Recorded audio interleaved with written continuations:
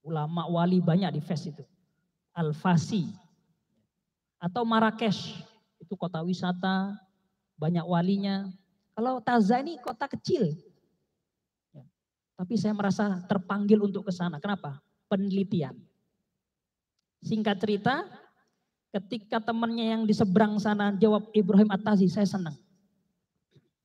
Karena menurut penelitian saya, buku-buku yang saya buka ternyata sejarah sholat naria itu yang mengarang adalah Syekh Ibrahim bin Muhammad bin Ali At-Tazi. Wafatnya tahun berapa tadi? 866. Jadi kalau ada orang bertanya, ngapain ngamalin sholat naria? Sholat naria itu sudah jelas dari namanya neraka. Yang ngamalin masuk neraka. Ngapain ngamalin sholat naria? Ente nggak tahu siapa yang ngarang. Sekarang kita tahu. Ya. Kasih buku saya ini. Jangan dikasih, suruh beli. Oke, ini kan buatnya pakai duit, bukan pakai daun. Kalau ke Maroko 18 juta pesawatnya, PP. Kalau high season, kalau Juni, Juli, summer itu bisa 25 juta PP. Ya Allah. Jadi sejarahnya sudah saya temukan. Bahkan buku tentang sonaria itu, sumber pertamanya itu belum ada yang punya di Indonesia satupun orang. Karena buku itu ditulis 500 tahun yang lalu pernah dicetak, belum pernah ditahkik. Baru ditahkik tahun 2015 oleh Dr. Adibaji namanya. Orang Emirat. UEA.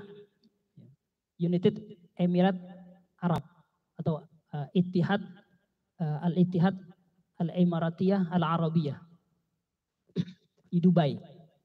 Beliau S3 ya, tugasnya dia itu adalah mentahkik manuskrip tentang para ulama, para wali Allah di antaranya yang ngarang sholat nariyah, namanya Syekh Ibrahim. Ceritanya, singkat ceritanya, sejarahnya, ada seorang namanya eh, Muhammad, punya anak namanya Ahmad, atau terkenal dengan Ibnu Sa'ad. Bapaknya ini ngajak si Ahmad tadi, Ahmad mau sowan. Sowan itu apa? Berkunjung, ziarah. Kalau bahasa orang Maduranya nyabis. Pak Muzamil ya? Engki.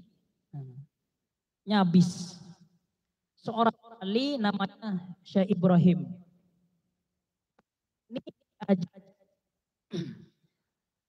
tidak mau. Saya tidak tahu di lambung itu kenapa dia diajak gak mau. Tapi anaknya yang bernama Ahmad tadi bilang ke abahnya, Abah, saya tidak ikut tapi saya titip salam ke beliau. Ketika abahnya sampai di Zawiyah, Zawiyah ini pesan di Wahran. Wahran itu sekarang kota Jazair.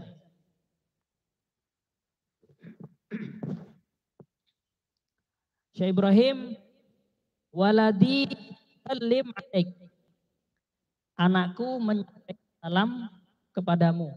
Kemudian Syekh Ibrahim ini menjawabnya enggak mengatakan alaik wa salam enggak. Beliau menjawab dengan menulis salawat ya. Ambil kertas, tulis sama beliau. Isinya ya. Itu sejarahnya. Ada di buku ini ya. Beliau tulis Alhamdulillah. Allahumma. Ini redaksi aslinya Pak ya. Maaf. Karena redaksi yang sekarang itu sudah banyak tambahan-tambahan. Siapa yang nambahin? Nanti saya kasih tahu. Ini redaksi aslinya. Allah Alhamdulillah. Allahumma salli salatan kamilah wasallim salaman taman ala nabiyin. Itu redaksi aslinya. Kalau yang sekarang kan ala sayyidina Muhammad.